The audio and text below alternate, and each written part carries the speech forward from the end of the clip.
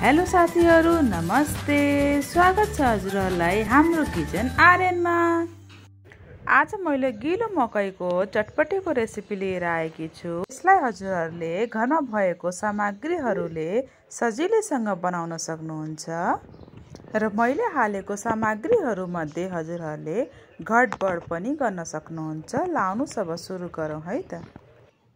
मकैलाई मैले राम्रोसित सफा गरेर यसलाई राखिसकेकी छु। अब यसलाई बोइल गर्छु। देख्न सक्नुहुन्छ मैले कुकरमा राखिसकेको छु पानी र मकै। अब हल्दी हाल्छु। थोरै नुन हाल्छु र बोइल गर्छु अब। मकै हेर्नुहोस् मैले बोइल गरेर यसको दानाहरू झिकिसकेको छु।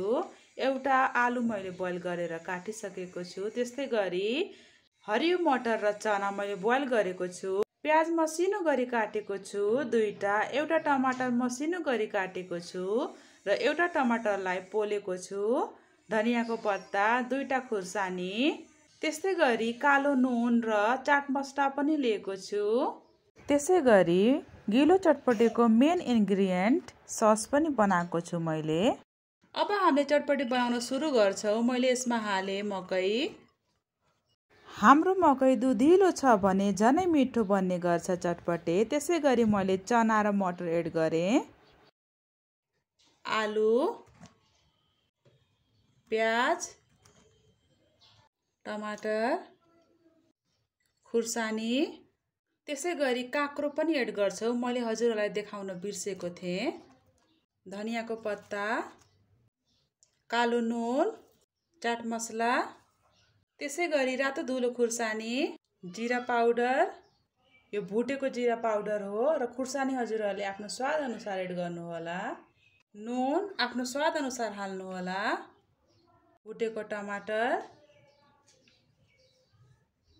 र सस। अब अमिलो एड गर्छौँ। हजुरहरूले चुक पनि एड गर्न सक्नुहुन्छ।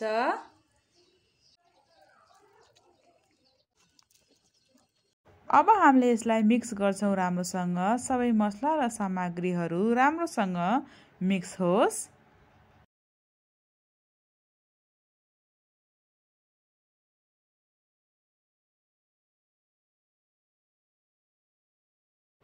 देख्न सक्नुहुन्छ यो रेडी भइसक्यो मिक्स गरेर र कति मिठो देखिएको छ।